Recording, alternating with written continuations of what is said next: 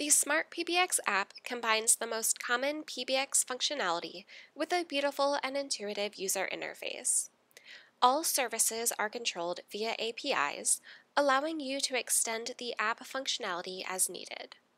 We made Smart PBX easy to use because it is where you will spend most of your time, as 75% or more of what needs to be done can be completed in this app. Within Smart PBX, you can create, manage, and remove services for your users. You can quickly create new users and specify what access you want to provide. Features such as individual fax to email boxes, call forwarding, and hot desking are easy to understand and implement. Because Smart PBX can do so many things, there will be multiple videos in the Smart PBX series. When you open Smart PBX, you will see the dashboard. The Smart PBX dashboard provides a comprehensive overview of your entire product offering. The first time you access Smart PBX, your dashboard will look bare, but as you set up each category listed on the left-hand side of your screen, your dashboard will, will look dramatically different. Please note that I did pre-populate a few DIDs in this account, as well as the main number. Let's take a look at what your dashboard will look like once you've added users and devices. As you can see here, you'll see an overview of total users, devices and associated phone types, and conference bridges, as well as the designated main number, conference number, and fax box number for the account. You can also view the total amount of spare numbers and assigned numbers. Going back to my account, Let's quickly run through each tab on the left-hand side of the screen. Like I mentioned earlier, these will be discussed in separate videos.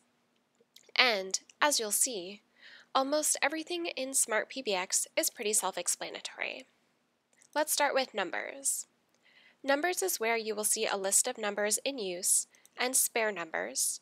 You can also buy, port, sync, and delete numbers, as well as set the caller ID E911, prepend, or carrier module for each number individually. Users is where you will create and manage users. Groups is where you will create groups and add members to your groups, set group extensions, phone numbers, and features. Main number is where you will assign your main number, conference number, and fax box number, as well as your office hours strategy,